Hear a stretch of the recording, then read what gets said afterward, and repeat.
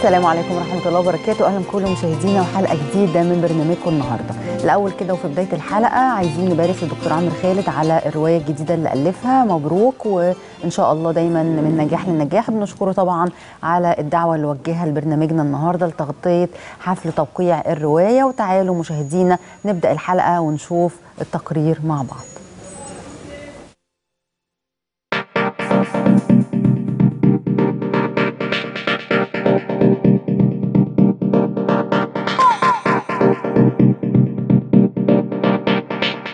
هي رافي بركات في الآخر رواية بترسم نموذج بطل أو صورة بطل.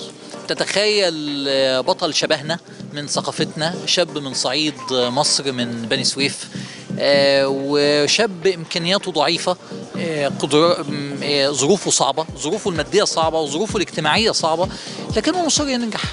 ومصر إن هو آه، يوصل آه، لحقيقة تسعد أهل بلده ويعرف آه، سر غنى أرض بلده.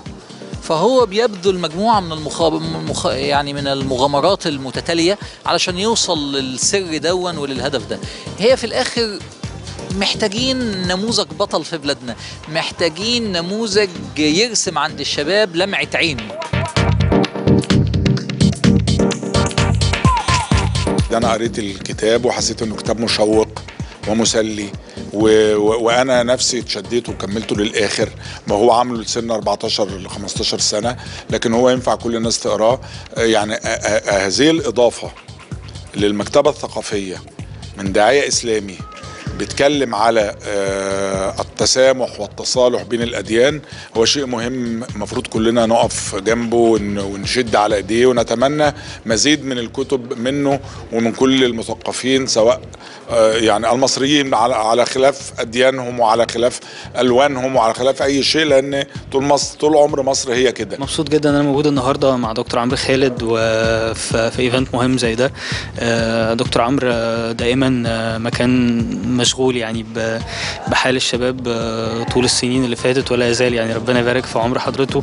آه، متأكد إنه الرواية هيكون فيها كتير قوي من الحاجات اللي مر بيها دكتور عمرو شخصيا من الخبرات والاحتكاكات الكبيرة اللي مر بيها مع شباب آه، يمكن العالم الإسلامي خاصة والعالم كله عامة. فرحان إن أنا موجود النهارده في في بداية مختلفة وفكرة مختلفة وإن شاء الله تكون بداية سعيدة يعني. النهارده إحنا جايين نبارك لدكتور عمرو آه، على الرواية الجديدة اللي هو عاملها. هو دايما دكتور عمرو بيبقى مبتكر دايما في الأفكار وال فاحنا جايين أصلا عشان نشوف إيه الفكرة الجديدة وإيه إيه القصة اللي, اللي فيها كلام الناس عمالة بقى لها فترة عمالة تتكلم عليها. آه، بصراحة حبينا نكون معاه ونشاركه آه، ال- افتتاح القصة أو أو كتابة.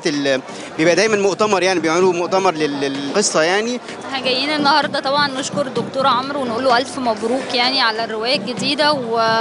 وإن شاء الله وهو برضو اتكلم النهارده على حاجة مهمة اللي هو الأطفال يقروا يبتدوا يقروا تاني زي زمان وكده. فيا رب بقى بناتنا يبتدوا يقروا كل الأطفال يعني وإن شاء الله يبقى خير بإذن الله. وألف مبروك لدكتور عمرو.